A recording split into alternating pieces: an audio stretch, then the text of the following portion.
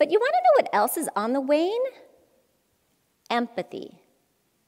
A study of over 15,000 college students found that today's students are 40% less empathetic than those in the past.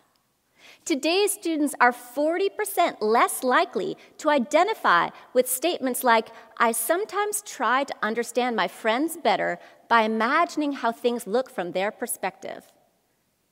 They are 40% less likely to identify with, I often have tender, concerned feelings for people less fortunate than me.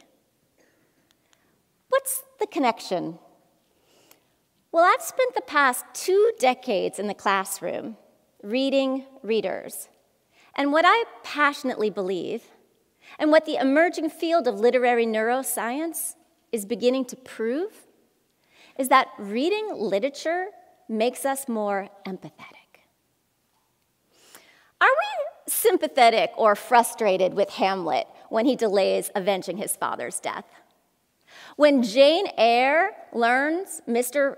Mr. Rochester is already married, do we urge her to flee Thornfield or to stay? What we're doing when we're thinking through a protagonist's actions is we're judging them against what we would do in the same situation or what we have done in the past. We practice making decisions that have consequences, which is to say, we practice adulting. The mind reading we do when thinking through a character educates our emotional intelligence. And this was proven in a study called the Reading the Mind in the Eyes test. This study took participants and gave them photographs cropped to reveal only a subject's eyes, and then gave them four options to choose what emotion that person was feeling. Now, we're actually going to try that here today, and I'm going to ask for a show of hands. And the rules are like this everyone has to vote for one of the four options, and anyone who's caught not voting will be invited on stage to do interpretive dance. Okay, are you ready? What is this man feeling? Raise your hand for terrified. Raise your hand for upset. Raise your hand for arrogant. Raise your hand for annoyed. This man is upset. We're going to try one more now that you've got the hang of it. Look at his eyes. What is this man feeling?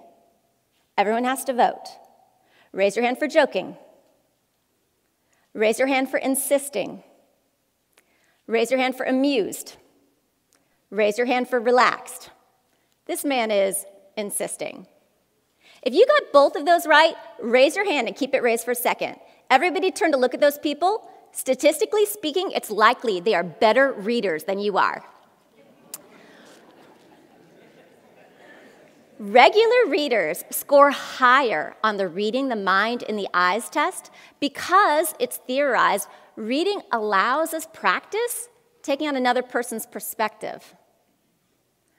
It's funny, but we have this stereotype of the bookworm as this paste eating, socially awkward loner. But reading improves our social awareness. Reading literature helps us read the room.